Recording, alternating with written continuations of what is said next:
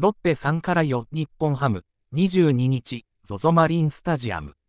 ロッテは接戦を落とし、2位、日本ハムとの直接対決で3連敗。ゲーム差は3に広がった。先発の佐々木は1点リードの3回、聖宮の敵地だとレースの疑比で逆転を許す。同点で迎えた5回は、再び聖宮に敵地打を許すなど6回4失点と苦しいマウンドだった。5四球と請求に苦しみ、7勝目ならず4敗目を喫した。打線は初回、ポランコの19号ツーランで先制。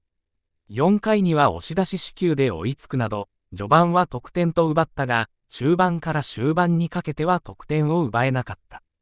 2位を争う相手との直接で痛恨の3連敗。これで試合のなかった4位、楽天ともゲーム差は3になった。